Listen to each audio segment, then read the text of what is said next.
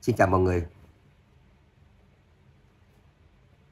Cao thủ tu chân Diệp Thiên chương 4056 đến chương 4058.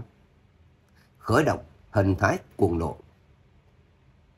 Người sáng lập Điện Yêu Hoàng cũng chính là điện chủ đời thứ nhất của Yêu Hoàng Điện, vốn là một đại yêu bằng vào linh trí cùng tuệ căn của bản thân từng bước một tu luyện thành thánh, vứt đi yêu hình, huyễn hóa thành người.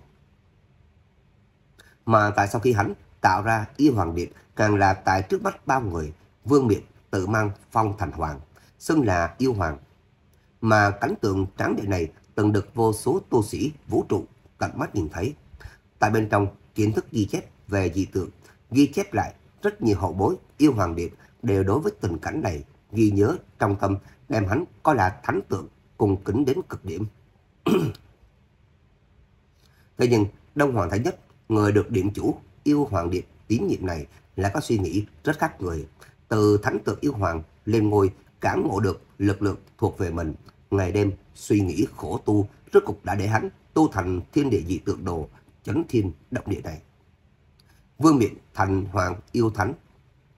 Thiên địa dị tượng đồ này tại bên trong kiến thức ghi chép về dị tượng, có thể đủ để được đưa vào danh sách 30 tồn tại mạnh mẽ hàng đầu. Mà bây giờ lấy tư vi cửu phẩm thánh nhân của Đông Hoàng Thái Nhất đem nó thi triển. Ngay tức thời, năng lượng vũ trụ mênh mông cuồn cuộn bị nó tiếp dẫn mà đến, hội tụ thành từng đạo năng lượng cực lớn, đem vương miện yêu hoàng kia tô điểm bằng những tia sáng rực rỡ, tự như trưởng khống tinh không, nốt trưởng tinh hà. Khí tức của Đông Hoàng Thái Nhất cũng là trà nhắm mắt tăng vọt, trực tiếp từ cửu phẩm thánh nhân thẳng tiến vào tuyệt phẩm thánh nhân. Là tuyệt phẩm thánh nhân sao? Diệp Thiên cùng Hoàng đế sắp mặt đồng thời ngưng tụ. Hoàng đế bởi vì bị cầm tù tại bên trong Đông Hoàng Trung thời gian ngàn năm, mặc dù lực lượng thần niệm của ông đạt tới tu pháp cảnh, nhưng bản thể thực lực của ông ta là chỉ là tuyệt phẩm hóa thần. Cho nên hiện tại mượn dùng lực lượng kỳ môn đột giác đối kháng với bát phẩm hóa thần trở xuống thì còn có thể đứng ở thế bất bại. Nhưng muốn đối mặt với cửu phẩm thánh nhân, thậm chí là Đông Hoàng Thái Nhất đã tới tuyệt phẩm thánh nhân là là hơi có vẻ miễn cưỡng. Mà Diệp Thiên lại là thành phẩm Nguyên Anh. Tại dưới tình huống tam hoa tổ đỉnh cùng phệ thiên trường sinh thể đồng thời thi triển ra. Muốn ứng phó với một vị tuyệt phẩm thánh nhân có thiên địa dị tượng, không thể nghi ngờ cũng là áp lực cực lớn. Động thái của Đông Hoàng Thái Nhất lần này hiển nhiên là có ý định dây dưa dài dòng, chuẩn bị với tốc độ cực nhanh, kết thúc trận chiến. Sau ngày hôm nay, địa cầu sẽ chỉ còn lại một vị con của sao trời, đó chính là ta. Hồng quang trong mắt Đông Hoàng Thái Nhất thịnh phóng, khí tức thâm trầm tới cực điểm. Sau một khắc, lòng bàn chân của hắn tại hư không đạp mạnh xuống, cả phiến thiên địa cũng vì đó mà run lên. Chân võ trảm thành trận ở phía dưới cũng vì lực lượng một cước này của hắn mà kịch liệt chấn động, hiển nhiên đã phải nhận làn sóng xung kích cực lớn. Bản thân Diệp Thiên vào lúc này cũng kêu lên một tiếng đau đớn, hướng về phía sau, lui một bước, bên trong thành phủ hơi trướng động. Chân võ trảm thành trận cùng lực lượng thành niệm của anh, nhất tâm, đồng thể. Chân võ trảm thành trận bị kích thương thì lực lượng thành niệm của anh đương nhiên cũng nhận lực phản chấn cực lớn. Thời khắc này, Đông Hoàng Thái Nhất đích thực là cường tuyệt vô song, khó có thể tưởng tượng. Hai người các ngươi nằm mạng đi. Đông Hoàng Thái Nhất nhìn thấy Diệp Thiên lui lại, trong mắt có lệ mang lóe lên, sát ý thịnh phóng mà bản thân hắn cũng sải bước phóng về phía trước, không chút e dè, trực tiếp dẫm vào trong chín đạo trận pháp mà hoàng đế bày ra. Hoàng đế thế thế, lực lượng thần niệm đột nhiên dâng trào, hóa thành luồng năng lượng như thúy triều mà mắt thường có thể nhìn thấy, đồng thời kích hoạt chín đại trận pháp. Chín loại lực lượng khác nhau đồng thời bộc phát trong lúc nhất thời, thiên phật địa phong lôi cùng nhau vang lên, thủy hỏa tương dung gia trì hào quang đủ màu sắc xen lẫn huy sái. Khắp phương viên mấy vạn mét đều bị lực lượng trận pháp này bao trùm khiến không có kẻ hở ép tới người không thở nổi. Chính đại trận pháp này tên là cửu tinh liên hoàn trận chính là tuyệt kỹ độc nhất vô nhị của hoàng đế bắt nguồn từ bên trong thời điểm sáng tạo kỳ môn đột giác thuật thôi diễn ra một khi được phát động chín trận pháp có thể phân chia hoặc kết hợp lại nhưng mỗi một trận pháp lại thực hiện nhiệm vụ của riêng mình. Chín trận pháp cũng có thể dung nhập làm một thể, phát huy ra quy lực cấp số nhân trở lên. Thời điểm ở địa cầu, ông liền đã từng dùng tới chiêu này đánh bại Đông Hoàng Thái Nhất, Cộng Công, Trúc Dung, một đám thống lĩnh dị tộc thời kỳ thượng cổ, độc lĩnh địa cầu. Mà bây giờ, tu vi của ông so với năm đó đâu chỉ là mạnh hơn gấp 10. Cách cửu tinh liên hoàn trận này một khi sử xuất thật là thiên băng, địa liệt, sơn hà, thất sắc. Cho dù là một vị bát phẩm thánh nhân lâm vào trong đó, tất nhiên cũng sẽ vô cùng chật vật, khó mà thoát thân.